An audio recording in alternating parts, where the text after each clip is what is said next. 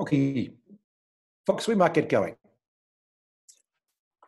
We have people continuing to join, uh, but um, what we'll be able to tell people is if they come in late, this will be available as a webinar viewable on YouTube and also on Youku in Chinese, or in China, I should say, which is the commonly used platform in China. And it'll be available as a podcast on Spotify, Apple, Google, and we're looking for other places as well. Thank you, everyone, for joining us today on this webinar on land use, or at least how we've addressed that within the European Union taxonomy on sustainable finance. This is part of a series of taxonomies we're doing, the taxonomy webinars we're doing. Every Thursday at 1500 CEST, there will be a webinar on this topic for the coming six weeks and possibly longer depending on how much lock, how long lockdown goes in different countries. The past webinars are already available at climatebonds.net slash webinars and you'll find a link to podcast that appears there in the next couple of days. We are in interesting times in the middle of a significant crisis, a crisis which uh, we've been warned by our climate scientists is something we need to get used to for the 21st century. With the nature of climate change, even in a sub two degree world, which doesn't look that likely at the moment, but that is our clear objective, uh, we will still see significant climate impacts, which will lead to volatility of weather, storms, heat incidences across Europe or China or other countries, uh, fires such as Australia experienced at Christmas. These will become more frequent typhoons and the uh, South China Sea will be th- up to three times more intense than they've been in the past. But also, with the stress on our ecosystems, we are likely to see more pathogens crossing over to our species. There's already been much discussion online by climate scientists about the origins of the particular pathogen that we're experiencing now and its potential link to degradation of, of environments. Uh, we need to get used to a century of shocks. We need to learn from this particular crisis what we need to do. Yes, we have to deepen the resilience of our health systems so we can chat, deal with things like this when they happen again, whether that's extreme storms or whether it's another pandemic. And we will have more pandemics. The IPCC Health Committee has made that very clear to us in, over the last 30 years. We also need to be looking at other social protection measures and understanding the link to resilience. When we have these shocks, we've got to be able to lift the poor and support the poor quickly. It can't afford to take too long. Otherwise, we will see imploded and degraded societies, not just ecosystems. That's the big risk for the 21st century. Syria's everywhere, unless we act to ensure globally that we address the question of resilience. The taxonomy, of course, is essentially a procurement plan for the Paris Agreement. It needs to be seen as a framework for stimulus investments that also help reduce the risk of forward shocks by lessening the risk of extreme climate change. That's a really critically important thing for us to wrestle with. So, we're going to talk today about the land use provisions of the EU taxonomy and their link towards addressing future risk, in particular around mitigation, we will also have a little bit of a conversation about the adaptation and resilience issues in relation to land use, but I want to refer you to a session we're going to do in this Thursday 1500 series in May on adaptation resilience, where you will hear Anna Creed is on the call today, talking again in depth about that particular topic and implications for our understanding of the sustainable taxonomy. Today, let me welcome Anna Creed, who's the head of standards at the Climate Bonds Initiative, who has been leading the agriculture work group for the Technical Expert Group on Sustainable Finance, and also Elodie Feller from the United Nations Environment Programme's Finance Initiative, who's been leading within the Technical Expert Group the forestry work. I'm going to ask Anna to kick us off with key uh, or highlights of the agricultural criteria. We'll talk a little bit about that. Elodie will then talk about the forestry stuff, and we will keep this conversational. We'll chop and change a bit, which means ask questions on the Q&A as we go, and we will attempt to pick up those questions as much as we're able. Elodie and Anna can see those Q&A questions as well, although they might be preoccupied of what they're saying. I'll monitor. We'll see what we can pick up. And remember, we will attempt to pick up questions we haven't uh, addressed during this webinar at a later stage as well. We won't lose these things. So first, uh, Anna, uh, I'm going to now shift to the next PowerPoint. Tell us a little bit, and I've lost a few words there, but you'll get the idea. Um, tell us a little bit about what we're doing and why we're doing this in the agriculture sector, just to get us going, what we're trying to achieve here. Yeah, thanks, Sean. Um, and good afternoon, everybody, or good morning. Um, very nice to be with you all today. Um, so yeah, so Elodie and I co-chaired the work on agriculture um, for the for the TEG group. So, um, but I'm going to talk about it today, and Elodie is going to focus on the forestry. Basically, agriculture is was picked up as one of the sectors um, with the high potential for a substantial contribution to mitigation, which was the kind of selection criteria for the prioritization um, of sectors and activities within the TEG. Ag agriculture is obviously a very interesting sector because yes, it's a source of high emissions at the moment, around about 20% globally, maybe 10% of emissions um, in the EU are allocated to agriculture. Um, so there's obviously potential for significant mitigation there, but also it has the potential to sequester or store carbon, and we really want to maximize that as well, not just to reduce the emissions, but to really be maximizing uh, the stocking and the storage of carbon in the uh, biomass and soils in the agricultural sector. Um, so in essence, the, the scope of the agricultural criteria cover croplands and livestock. Um, so we've got perennial, this is because it's separated out in the NACE codes in this way. We've got perennial crop production and non Sorry, NACE codes. NACE codes are the industry categorization system used in the European Union and we've attempted to map all activities to those to make it easier for businesses to understand what's in and what's out and to find them. Just to explanation. Always need to add that in, Anna, especially for our international viewers, eh, listeners.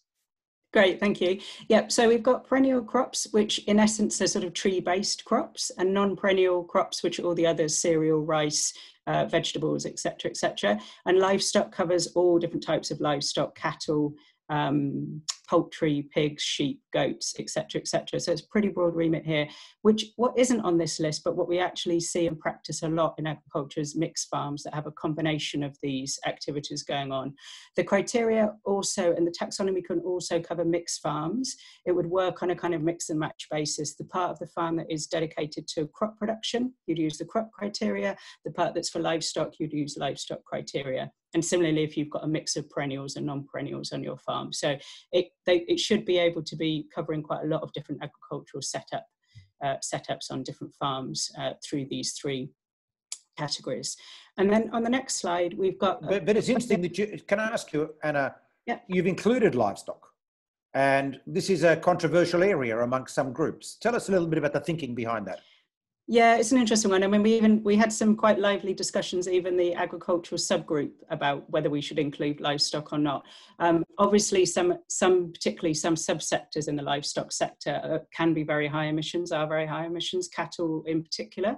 Um, we decided uh, on balance to keep livestock in at this stage, or at least the TEG's recommendations for the taxonomy, on the basis that it is high emissions, but there is also substantial potential to reduce those emissions in the short term, and doing so doesn't lock us in to keeping livestock over the longer term. Um, so we wanted to keep it in to maximise um, that uh, substantial contribution to mitigation potential. Obviously, over time, it will be interesting to see what transition pathways look like for agriculture. It's a bit hazy and unknown at the moment, you know, how agriculture will shift over time. Um, and that and part of that is kind of societal and cultural shifts away from eating meat as well. So at the moment, livestock is in. Um, we've made recommendations to these, the Sustainable Finance Platform, which will take on the work of developing and maintaining the taxonomy after the TEG um, has effectively now handed over our recommendations to monitor this situation, to consider um, the ongoing status of livestock within the taxonomy, particularly as at the moment, we don't differentiate in the criteria between different types of livestock. And it might be the case in the future that you might want to do that. So some types of livestock have a, a clearer argument than others for being higher or lower emissions, and it might reflect that in the future. But for now, we've got it in because it, there, there is potential for substantial mitigation in the sector. Now, now this is a critical conceptual point here. So, you know, we, we, we of course have some debate about how we should have no meat uh, as part of our diet to this. Uh, and there's many areas where ideally we would shift to a very low carbon position. But what we're saying is the critical thing is to get emissions down from where they are now as rapidly as possible.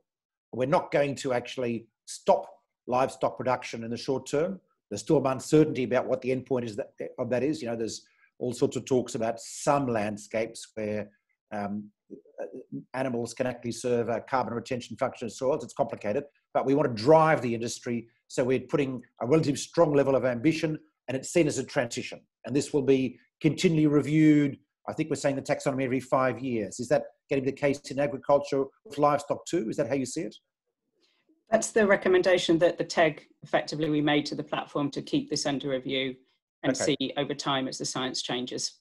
Yeah. Okay. So in many in many areas for our listeners of the taxonomy, we've identified uh, clear investments that are 2050 consistent. Let's say, like solar and wind. We say we've identified enabling investments, which might be uh, grid investments or manufacturing of triple glazed windows, which we see as important to recognise and support. And then we've identified transition investments. These are sectors that will change over the next 30 years. We need to drive that change, ensure that the ambition is adequate as distinct from freeze them out entirely. And in this case, we've included livestock in that particular uh, aspect. There's more discussion we can have about this, of course, but uh, there might be some questions. Thank you, Anna. I'll take you to the next slide, which you want to dive into. Great, thank you. Um, so this is a high level summary of the criteria. It's the same structure uh, for all of those three categories, perennial, non-perennial crops and livestock. There's effectively three objectives and a corresponding criteria for each of those three objectives. The first one is to reduce greenhouse gas emissions um, from ongoing um, land or animal management. The second one is to really maintain and increase uh, existing carbon stocks in biomass and in soils. And the third one is to, so those first two are really about ongoing land use. The third one is about not converting high carbon stock land like forests or peatland, something like that, for agricultural purposes in the first place. If we've got land which is high carbon stock, we want to leave it as high carbon stock and not convert it for agricultural purposes. And that's really what the third uh, objective is. So in terms of criteria to deliver on those objectives, for reducing greenhouse gas emissions, there are two options available to users. One, you can demonstrate that you're employing a list of best practices uh, that the, the TEG determined uh, they're on the next slide, so we'll talk about them in detail, but determined make a substantial contribution to reducing emissions. Or you can more directly have done a greenhouse gas assessment and demonstrate over time that you're going to substantially reduce your emissions off the farm by a certain percentage. And the documentation specifies what that percentage should be and it scales over time. So if let's say it's a 10 year investment, it's actually a 20% reduction in greenhouse gas emissions you need to meet. If it's a 20 year investment, it's a 30% reduction and it's obviously lower percentages. The idea being that if you're locking capital up for longer periods, the emission reduction you need to deliver is larger. Um, the second one about maintaining or increasing uh, existing carbon stocks is very similar in that you can either demonstrate you're employing the best practices that are specified, that again have been uh, from a review of the scientific literature and talking to the experts, are the practices which should enable you to store significant amounts of carbon and in, increase the amounts of carbon being stored in biomass and soils. Or you can do a greenhouse gas assessment and show that you're increasingly sequestering carbon over time measuring greenhouse gas sequestration is actually a lot more difficult than measuring emissions reductions and the time frame is a lot longer to store carbon than it is to stop uh, emitting carbon. So the requirements here are a bit more generic in that you basically have to show over a 20 year period that you're steadily increasing your carbon stocks. And we haven't put any um, target. It's not like we're saying you have to increase by 10%, 20%, etc., because it's so variable from location to location, depending on the soil type, how much carbon you've already got stored, etc. It's really inappropriate to set any sort of absolute target on that sequestration. So mm-hmm. all you really need to do there is to be measuring and showing that you're you're increasing your sequestration over that long term. So, so that's actually a pretty easy one if you can do that, right? It's simply a matter of getting people in the habit of measuring and confirming. It's not a tough one as long as you're in the ma- maintaining. That's it. That's exactly. important to note. Yeah, yeah, yeah. And the third one is um, there's sort of more technical language on the land use conversion bit. We borrowed from EU RED 2 um, the Renewable Energy Directive there, um, where they've got requirements about not converting high carbon stockland, which they define more precisely, including things like forests and the peatlands that I've mentioned and other high carbon stockland.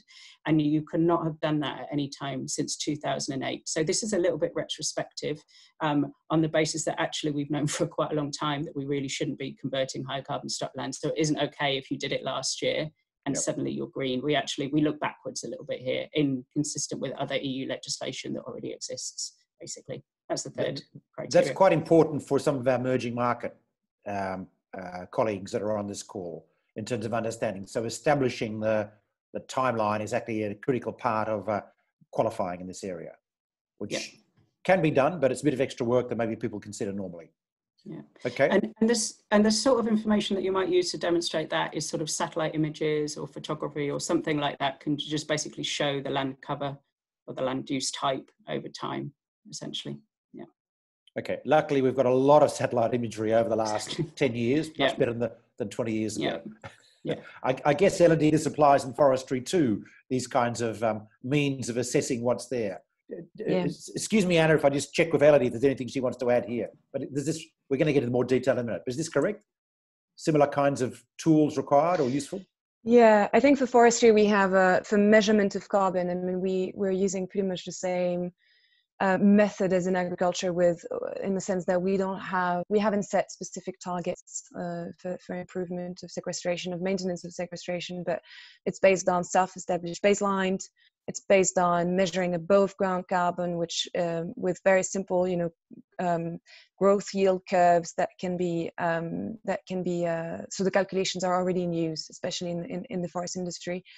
And for reporting data, and in terms of um, you know doing it and getting the data out there, um, there are satellites, of course, and you know this is how LULUCF reporting and you know national uh, systems sort of function at, at very large scale level. But in terms of the forest taxonomy, because we measure that at the forest stand level. We, we want to encourage forest owners and managers to, um, to, to have a baseline in place and to measure progress over time. Mm.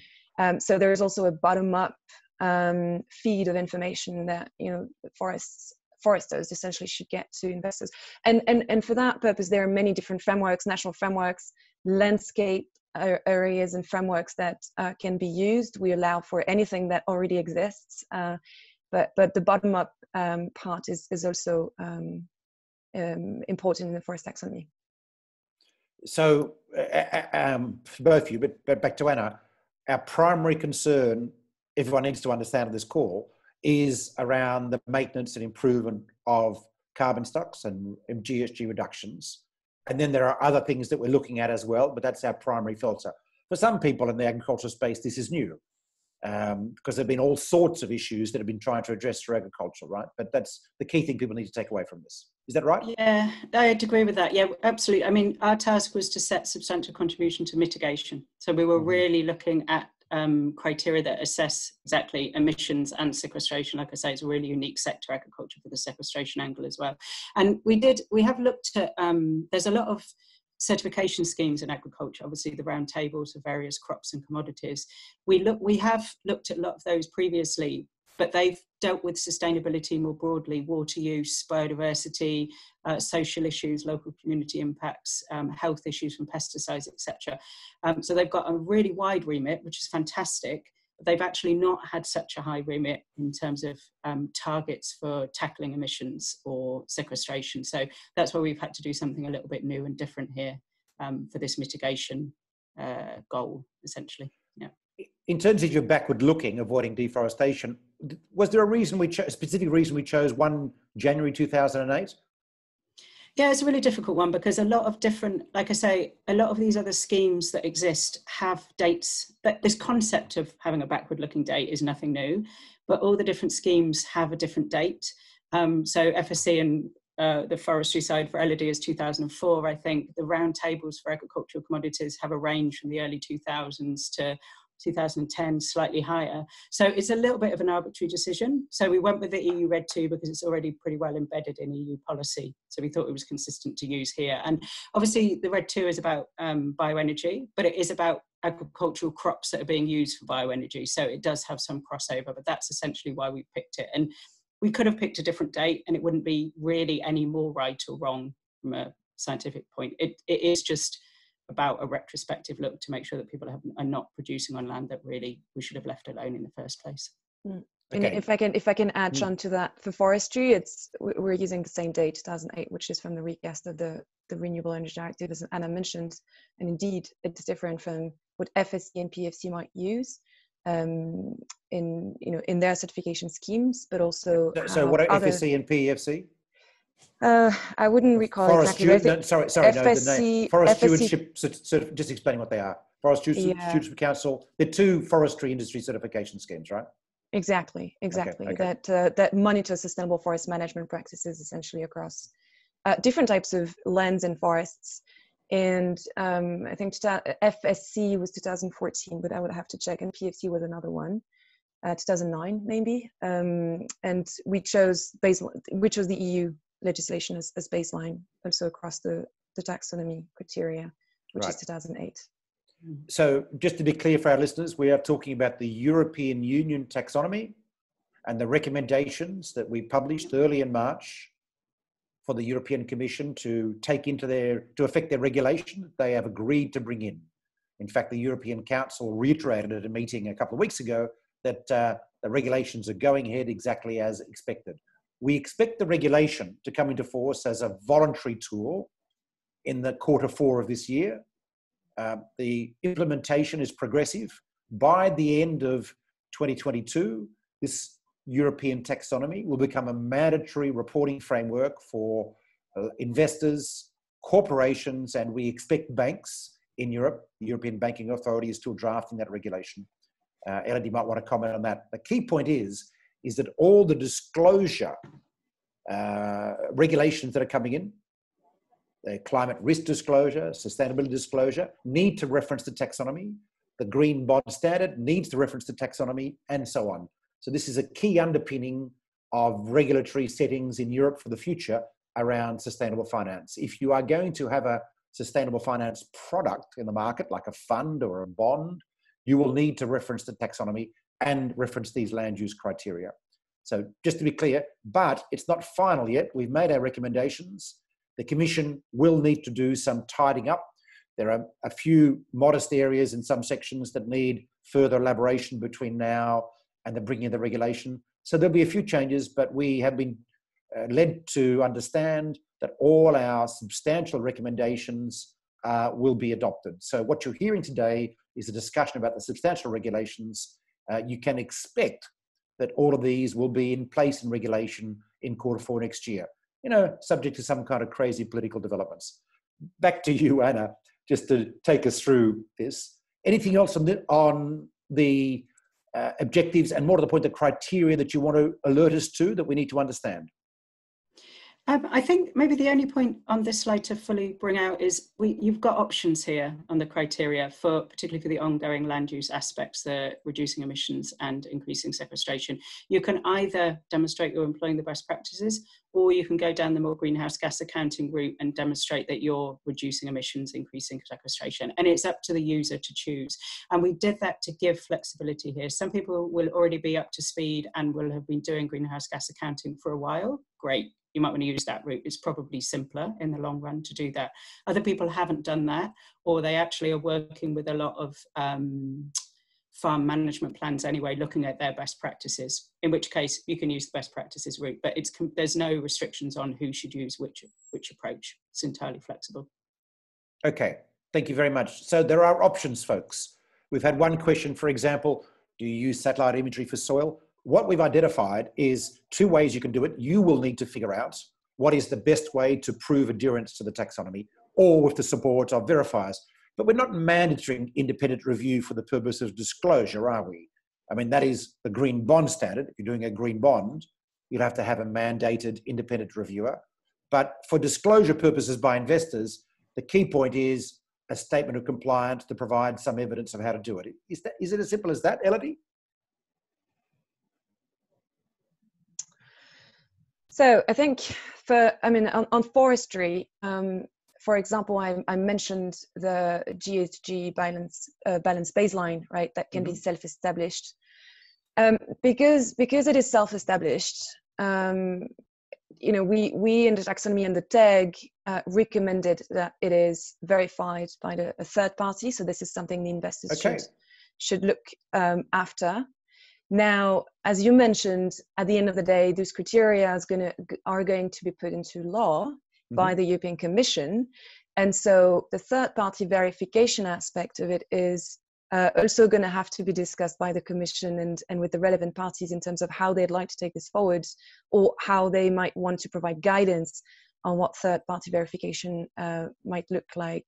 But for what the TEG has um, recommended, uh, what is self established should be verified by third party verification. Um, or, or relevant authorities. So, where you have national authorities um, that can monitor um, or you know certify that your baseline is is appropriate, um, that counts as well. Ah, okay. So again, there are options here. Absolutely important to understand.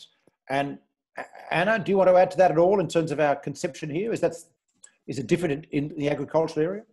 Yeah, ours is similar as well. We do want people to have them audited in some way, not necessarily by a big four auditor in a formal sense, but there's some degree of assessment going on um, around the, the accuracy of the, the information.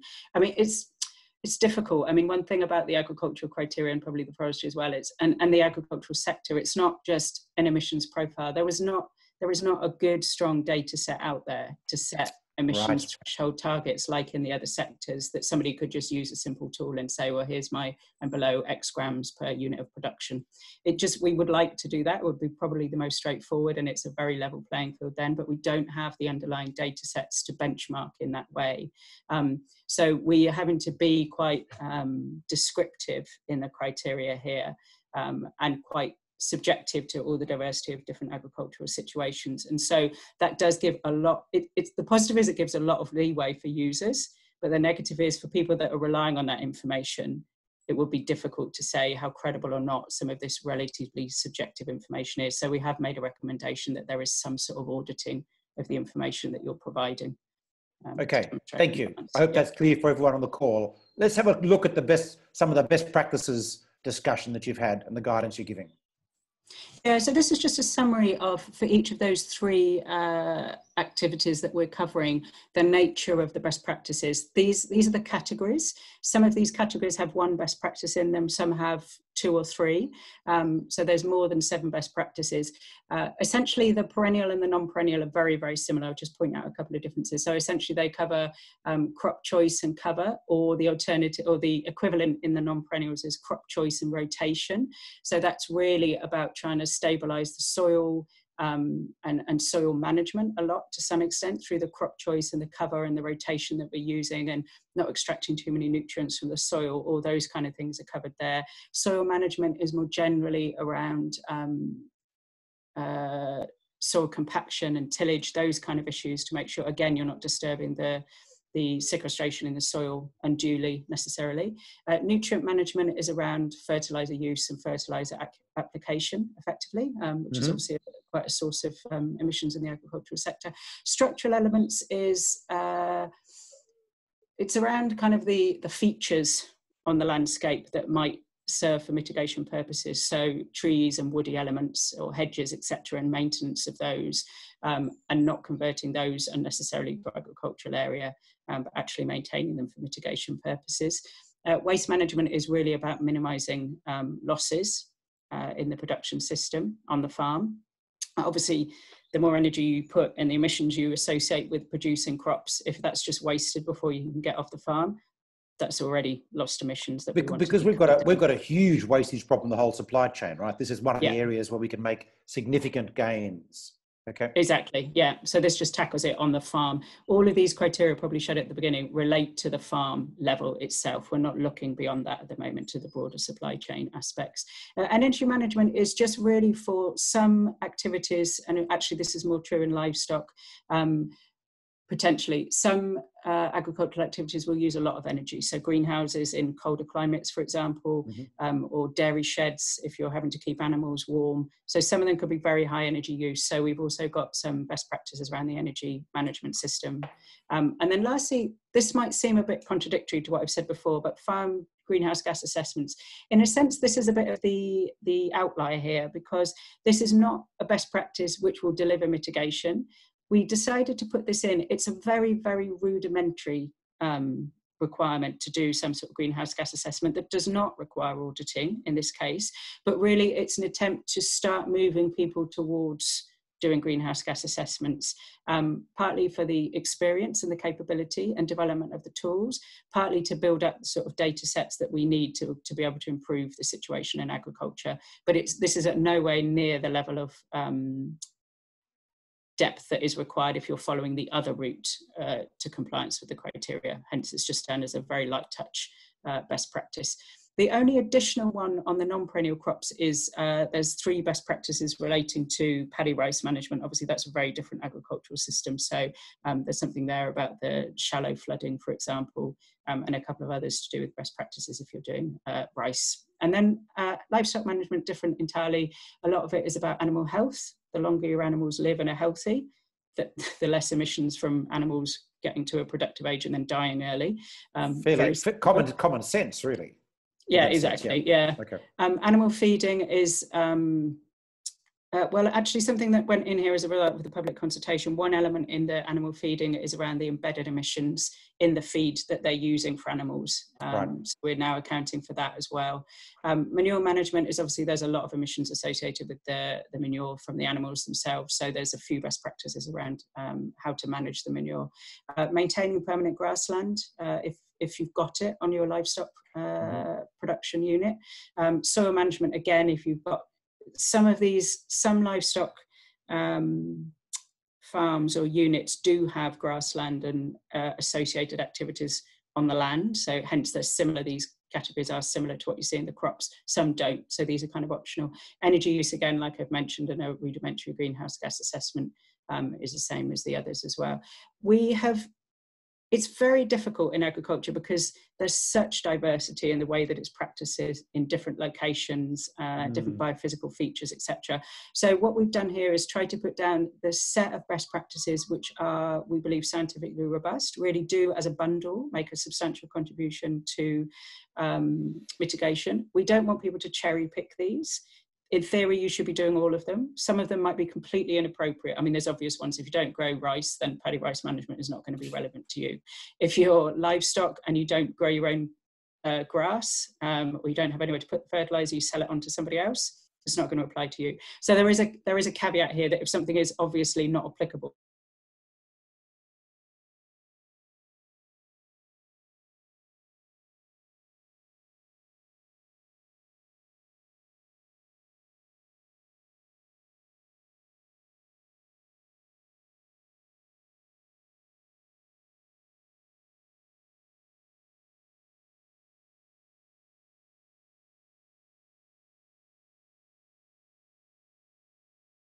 which will be used globally or available to be used globally um, in the bond market.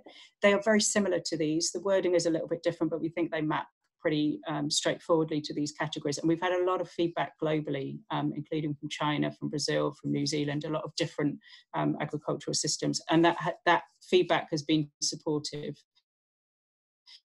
So the text view was that these were globally applicable. The subsequent work that CBI has done in our own global criteria support that as well. So we had a lot of feedback in the public consultation within the EU that some of these weren't applicable in different uh, mm. uh, regions in the EU. So, by extension, there will always be areas where they are or aren't more appropriate. But in a basic principle, yes, we do think they are.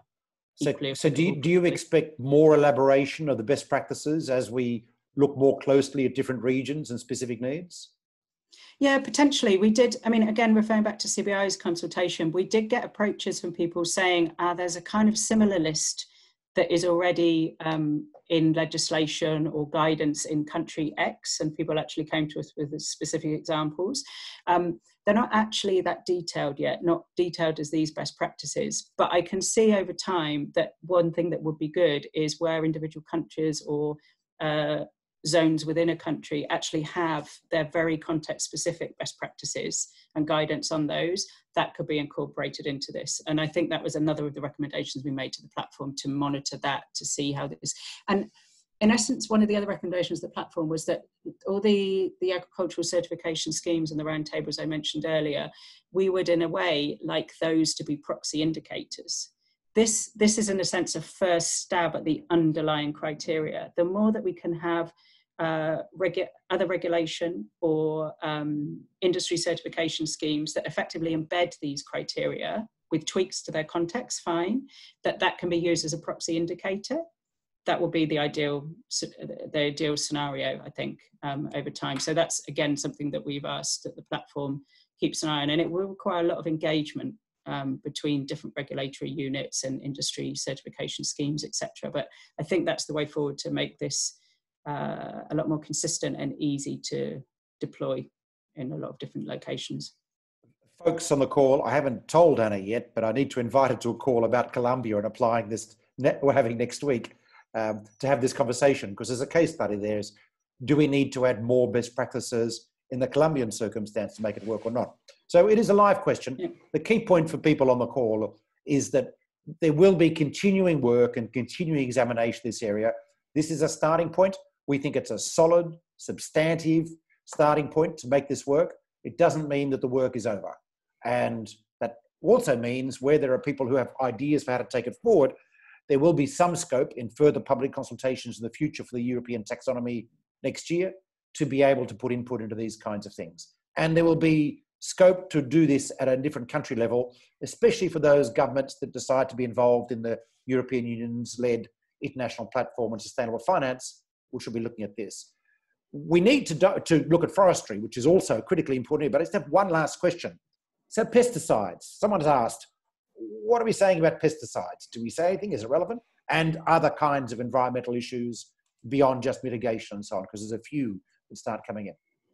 Yeah, that, they're all, all those other aspects uh, addressed in the do no significant harm criteria. So pesticides Aha. are addressed as an example. I think that's under pollution control, possibly um, is where that went in. But yeah, so water management, uh, pollution control slash pesticides, um, uh, biodiversity and uh, healthy ecosystems uh, and circular economy as well. So all of that is covered in the do no significant harm. Having said that, in some sectors it might be relatively easy to separate all those impacts out. In agriculture, obviously, it's not. And when we were trying to develop these criteria, even though these are headline criteria for mitigation, it's such an integrated um, mm. sector where what you do in terms of how you use the land has multiple impacts in many ways. We were really mindful of trying not to suggest anything for mitigation that might undermine another goal itself directly. So we've tried to take a fairly balanced view. Um, so none of these things should really be undermining any of the other goals, but there are formal do no significant harm criteria to ensure that. And those criteria are often based on existing EU regulation. They're written in kind of layman's terms, trying to describe the outcomes that we're seeking. Mm-hmm. Um, and then where we can, we cross-reference, for EU users at least, cross-reference to um, EU regulation, including the CAP um, and the post 2020 version of the CAP that's currently being worked on. We've tried to reference to that as well. Um, uh, the water directive, uh, sustainable pesticides use, etc. All those kind of things are, are covered there. Thank you. And biodiversity conservation is also mentioned there. LED in the forestry area, is that right? And do no significant harm? Um, yeah, no, absolutely. Um, and it's part of uh, the environmental risk management processes and systems that um, we have uh, to establish for, um, for, for the farm at the farm level for agriculture, but also for forestry. Um, okay. On the biodiversity and pollution, where, where, where that lands, but same for pesticides. It's under so, the pollution.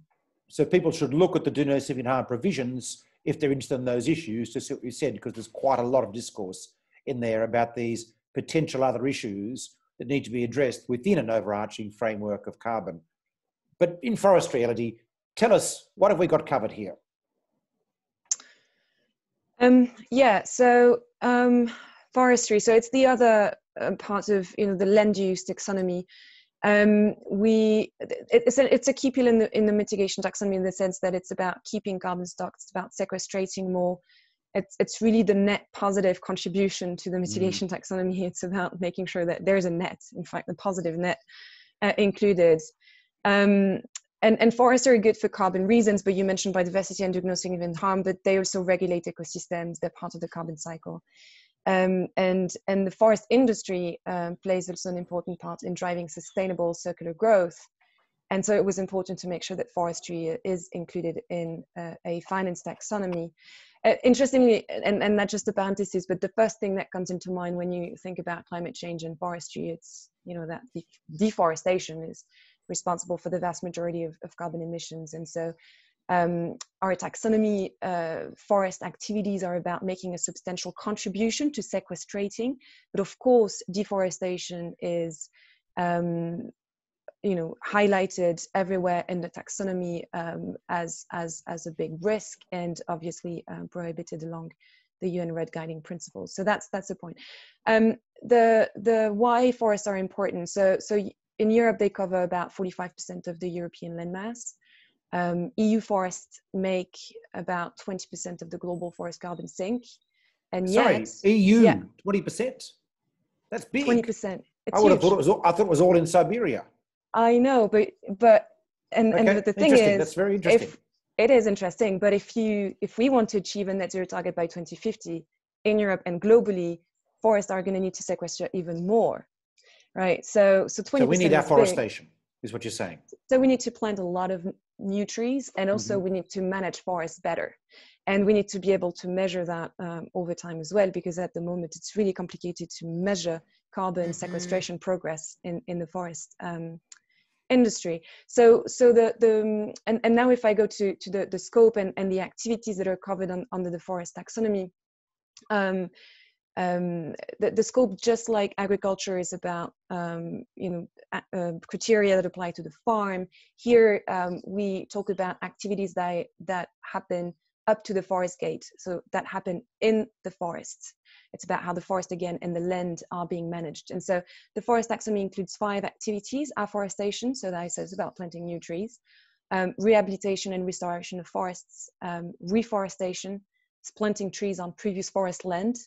Um, and we've also sort of invented uh, the fourth activity, which is existing forest management. I'm, I'm going to come back to this one, and added uh, conservation forestry um, after the, the, the, public consultation period that took place last year. Um, so, so those activities they uh, fall under a nice category that Anna mentioned in the beginning, this EU classification system of economic activities um, that is named forestry and logging. So logging is included here as full part of the economic life cycle of, of the forest. Um, and, and, and those activities have been chosen to go all the way from when we plant the trees up to when we, we harvest them, right? Um, but, but you um, mentioned gate. Can you explain what that mean up to the gate? So it means that we don't um, make uh, a, recommendations in terms of the end use of how the, the, the wood uh, might be processed uh, after it's been harvested. So after it's, it's left uh, the forest land, essentially.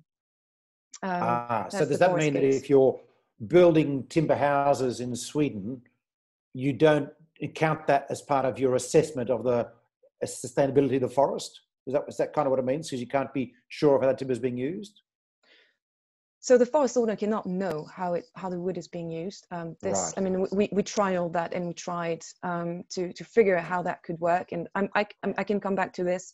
Um, okay. But the if you have a, a Swedish um, uh, you know construction uh, company, uh, the supply of the wood has to be taxonomy compliant. If um, it, you know, from from the from the building perspective, and you can find that criteria actually in the building taxonomy. Um, but in it's fact, not we mandate. I think we mandate eighty percent has to be FSC or PEFC compliant. Yep. Exactly. So we actually use a proxy, which is FSC and PEFC for now, because uh, it's unlikely that uh, you will have so many forests that uh, comply with the three criteria straight from next year. So for now, we use FSC and PEFC.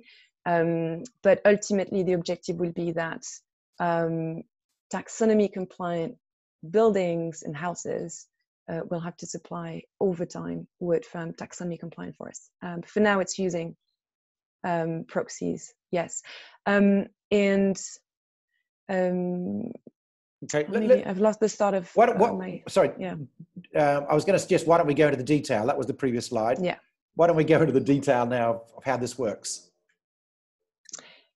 Um, sure. So there, there are essentially um, three cumulative cumulative criteria that cuts across the, the five activities. They they vary at, at the margin essentially, but so mostly they're a mix of qualitative and quantitative criteria, fairly similar to those that you can find in the agriculture taxonomy that Anna just described. Um, the first criteria is about applying sustainable forest management practices. Um, that builds on the definition from Forest Europe and on existing frameworks, existing definitions of what sustainable forest management is. Um, we also provide in an annex to the taxonomy document that is online uh, a number of um, practices with most potential. So they are recommended practices in essence um, with most potential to increase the carbon stocks across the different carbon pools. Um, and similar to the agricultural taxonomy criteria I, I, mentioned earlier, we use a principle of no conversion of land that has uh, had a hard carbon stock status since 2008. So that's the same criteria as, as, as, in agriculture. That first criteria, sustainable forest management, is fairly known to EU forest managers. It should be relatively straightforward to everyone. We haven't invented anything there. Um, the second criteria is about measuring carbon uh, above ground carbon. Um, this is less common to uh, the business of forest management um, we, we, yet there there are best practices out there that you know that um, um, um show that this is possible indeed to, to do it. Um, we thought having carbon measurement is so it's so important to initiate as we race towards uh, net zero.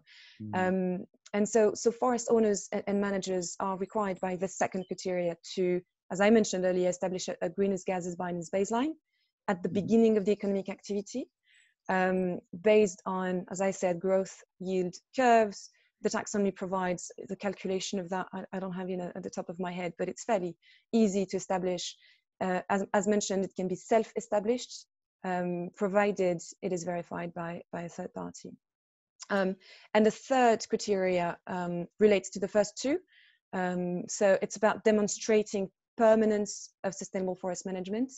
Um, that is crucial from a sequestration perspective, but also from a biodiversity and, and from a soil quality perspective, sustainable forest management is really a, a holistic uh, approach to forest management.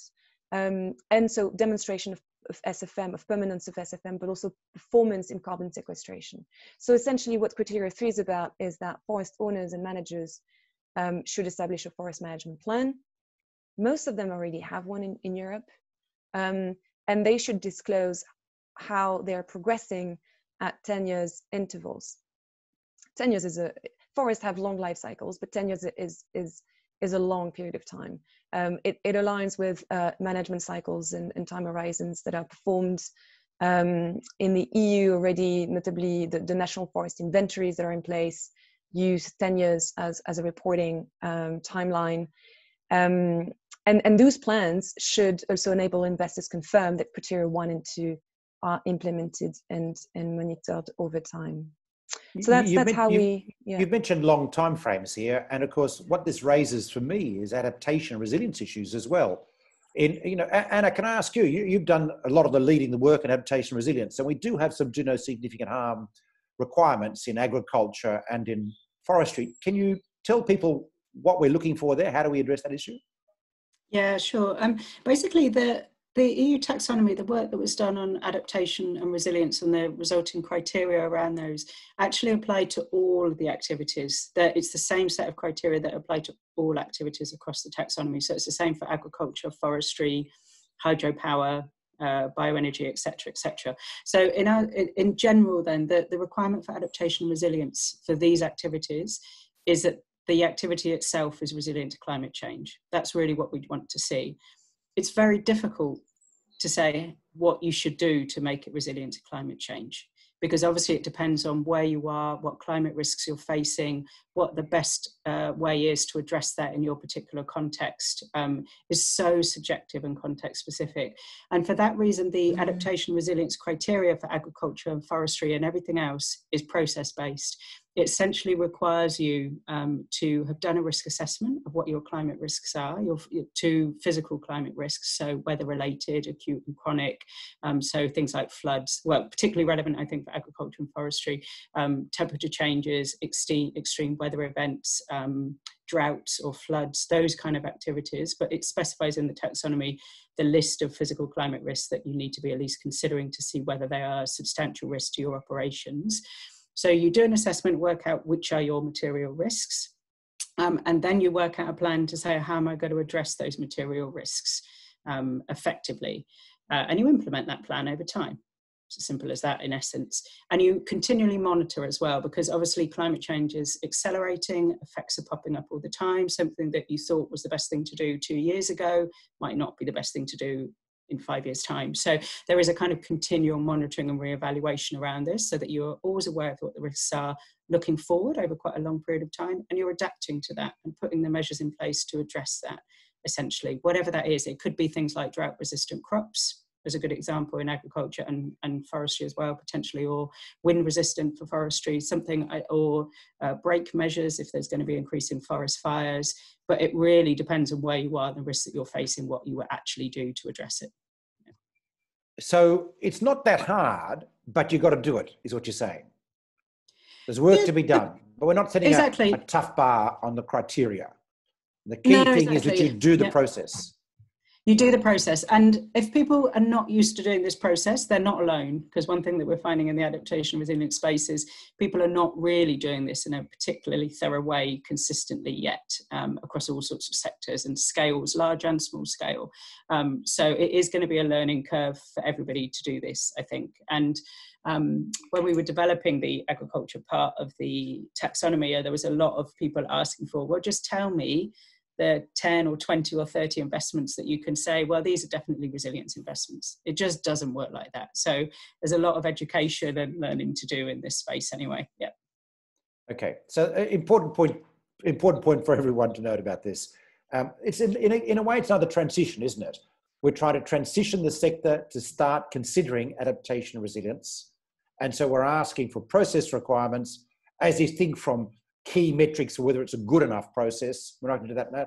And we might improve that over time. As, as the knowledge increases, as the practice increases, we'll have a chance to have greater definition about what's going to be involved. But we've got yeah. to start. Uh, I know we've got to lose Anna in a couple of minutes because she's doing another webinar on uh, around uh, environmental issues like this. Um, so I just want to thank you, Anna, for in case you have to drop off your call when you do okay. this. I want to go back to forestry because we're drilling down into this. So um, Elodie, you've had a lot of conversations with the plantation industry, the applicability in Finland, Scandinavia, uh, in general, Poland, and so on. Where has this got to? How does this work for a small landholder, let's say, a small forest family in um, Finland? What, the, what, what's the practical implication? Hmm. So, I mean, we, we um, one thing to note is forestry is fairly complex in the sense that um, there is no such thing as forest regulation at the EU level, right? So it's in the competence of member states. So each uh, country in Europe and essentially each country in the world has its own uh, regulatory framework and way of functioning, right? When it comes to uh, uh, assessing uh, how sustainable forest management is um, is is being processed and and how carbon can be reported. So we've had to look into different countries and, and, and type of uh, market structures. Finland is indeed one, one complex um, um, uh, case where it's, it's a very fragmented um, country with a lot of different forest owners. And so um, we, we had to address this question indeed um, uh, throughout the process. At the end of the day, the, the responsibility lies at, at the at the forest stand level, mm-hmm. right? So that's that's the base for, for the taxonomy. Now, of course, um, it's it's not easy to report data and to measure carbon when, when you just have a, a, couple of hectares, or you know, and and you for and, and for example, when you your land is part of a, of a broader landscape of a, of a sourcing area for, for timber, um, and so taxonomy allows again for um, a very wide range of measurement and reporting uh, framework and practices to be to be uh, used. So that forest owner in finland then only have a couple three four hectares of forests um, that lends you know it's uh, uh the, um, the use of the land to a, a, a bigger producer or a bigger manager uh, can of course use um, higher uh, scales and, and level frameworks to, to report data um, uh, as such. So we, we okay. have, um, yeah, so we've made sure that th- this is possible. Yeah. So, so what you're saying, it is possible because you, you remember some of the early conversations. There was a, a mild terror amongst the uh, the forestry industry in Scandinavia that are going to be excluded. That's not the case, but there are processes and there are reportings required to make it work. Is that my yeah. understanding? It's your understanding. And there's a, a, question also about monocultures. And this was something that the Finnish industry also came back to us about, you know, yeah. whether monocultures are included in, in the taxonomies and where, you know, uh, a lot of very similar trees are, are, are being planted in, in, um, in, in Finland. And so the, the final recommendation of, of the TEG was um, not to exclude monocultures from the uh, from the taxonomy. However, you can find in the ecosystem and biodiversity do no significant harm uh, requirements to promote close to nature forestry or similar concepts depending on the local requirements and, and limitations of, of the land. And also you find requirements around the selection of native species, um, all varieties, ecotypes, um, that adequately provide uh, the necessary resilience to climate change, nat- natural disasters, and all the things that Anna just mentioned about uh, resilience and adaptation. So we don't exclude monoculture, but we want to make sure that the trees are native and um, and that there is a, a careful attention put to um, uh, close to nature forestry type of uh, concepts and principles. Because this supports biodiversity in particular and other measures. Exactly, so, and the management so, of ecosystems. Yeah. So a eucalypt forest in Provence would not be in? Does that mean? Could not be done, included? Um, typically, if it's not a native, uh, if it's not, no, obviously, eucalyptus uh, imported would not be native, but um, exactly, no, indeed, that that would uh, that would have to be justified under the adaptation taxonomy, and so you would have had to put in place a, a, a good risk management process and establish that this is providing specific resilience add-on ah. um, to, to forestry. So you could find a way to put that in, but you, you would also have to make sure that you're not endangering uh, biodiversity and ecosystem at the same time. So I guess you know the balance, uh, it, it, the the result would lie in in the balance of how much risk you're creating on biodiversity versus how much resilience you're creating. So that's great. That's very interesting. So really, you've got to think these things through, and there is scope. In fact, you need to be looking for how your landscape's going to change based on changing rainfall patterns and weather patterns in the coming in the future as you make these assessments, right? And um, exactly. that might lead to things that people don't think is obvious now, but Provence is not going to look the same in 2040, unfortunately, where we're going. And actually, on on this point, one one small point. Really, when we're talking about resilience, we don't want people to be just looking over the life of a financial instrument. We want them to be looking over the life of the asset or the activity. Good point. Um, yeah, so that's a big thing. If you've got a three year bond, it's not enough to just think about resilience over the next three years. So we're looking more like 20 year horizons in terms of our justifications here. Is that the sort of thing you look at least? At so well, some, well, for water infrastructure, you'll be looking at possibly 100 years, for example. So agriculture, forestry, quite long time frames. Mm. Um, even some some renewable energy 20 30 years so yeah it's not short Mm. Uh, for forestry specifically, and I think you know, uh, hand over to you then, Sean. But for forestry, we uh, we've established that performance on carbon sequestration would have to be established uh, after 20 years for afforestation. Uh, this is essentially, uh, you know, LULUCF accounting rules to change from afforestation to forest land. And so, mm. when you plant trees on on a land that wasn't forest before, you have to demonstrate performance over 20 years. It's fairly straightforward. You know, trees grow and sequester carbon anyway. Um, but you also have to demonstrate that you've um, managed that afforestation according to sustainable forest management, um, sustainable, sustainable forest management principles. Uh, for um, voila, for uh, existing forest management, however, and this was also a big question raised from you know the, the Nordic um, forest managers in, in the industry. Um, we have aligned the the performance um, limit to the to the, the rotation period of the forest, so to the economic life cycle of the forest, because in Nordic countries you have a lot of um, uh, felling practices that are called continuous felling practices where you know carbon goes up and down you know during 80 years because you know sometimes you cut sometimes you harvest uh, while trees continue to grow. And so and so we've uh, we've made sure that the performance uh, from a carbon emission perspective can be aligned with the uh, economic life cycle of, of the forest essentially. So I'm I, last year before the lockdown. I was planning my next holiday in August in, in northern Portugal, olive groves does that is that included here? There's a lot of olive groves around mediterranean. I mean when we're talking about that level of plantation forestry we've been talking about scandinavian so far. Switch to yeah. mediterranean or or other kinds of tree agriculture. How does this fit between the two sets of agriculture? The, sorry i two set criteria the agriculture and forestry criteria I'm pretty sure they'd be under agriculture, actually, under the okay. perennials. Yeah. yeah, yeah, all of those yeah. um, oils, um, grapes under agriculture, um, all of those things are under perennials. Yeah. Yeah. So, so when I'm walking through those olive groves, that's what I've got to be looking at in my hand, the taxonomy guide to agriculture. Okay. Exactly. Yeah. Um, we've got a few questions online, but but Elodie, do you see this as? Um, uh, I mean, you, you've had so many discussions about practicability give us a sense now of uh, likely take up in the industry and going forward. You know, there's been so many conversations, so many consultations since the June consultation. You've made some changes. You indicated the inclusion of existing forest management. Mm. In terms of take up, do you have any views about the, what it's going to look like over the next couple of years and whether we're going to see a, a rapid um, usage of these taxonomy? What's your feeling? Hmm.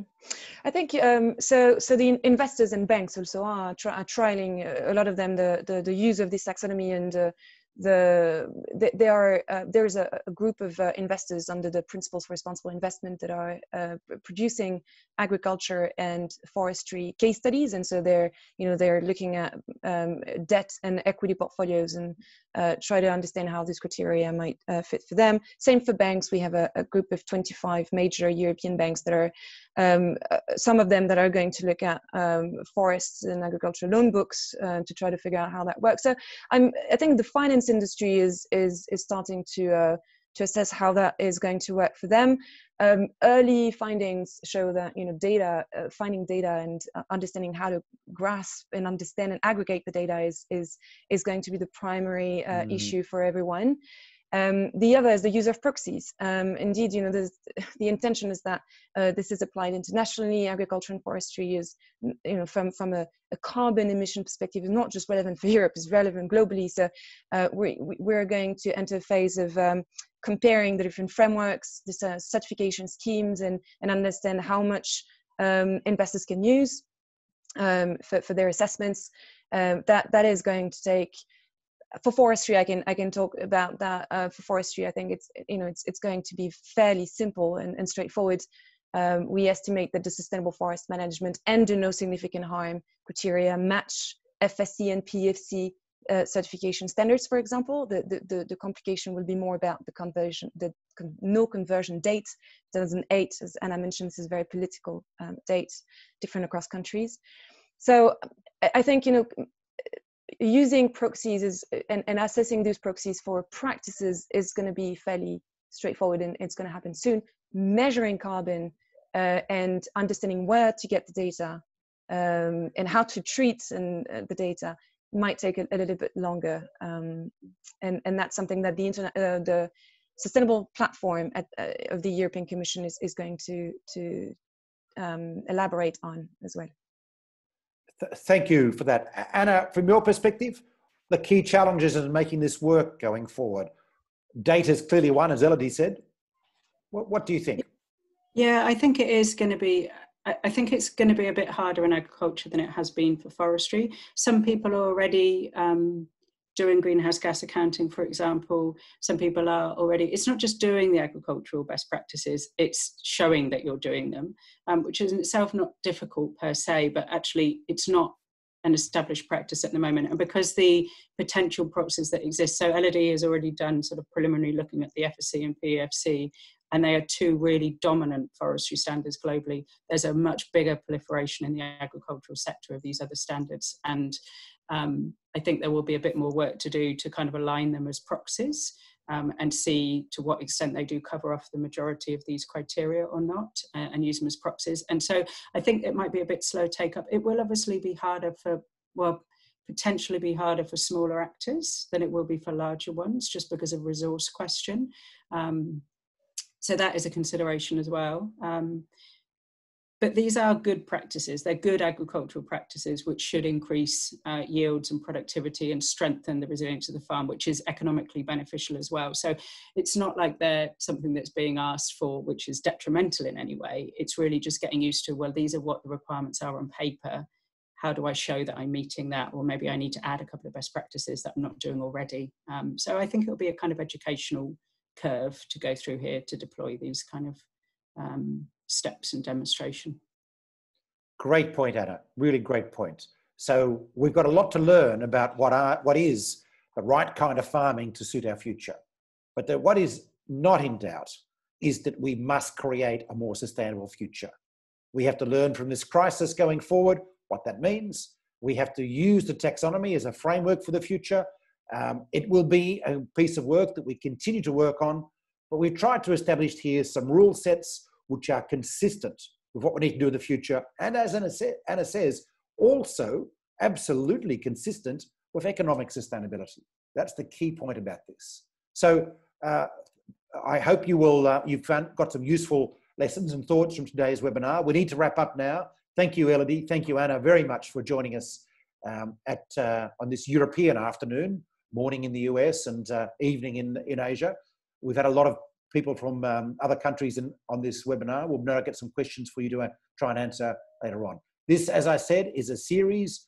Thursday next week, 1500, another taxonomy webinar, and every Thursday beyond that, and a few others as well. This will be available on YouTube, on YouCool, and as a podcast. So you can check your understanding uh, if you'd like to, or share with other people. Um, please join us in helping make not only Europe, but the planet more sustainable. That's the mission of what we're trying to do and marry that with sustainable finance. We have the capital, we have the solutions, the procurement plan for the future we have here shows you that. We now just need to get on doing it. Thank you very much for joining us today, everyone.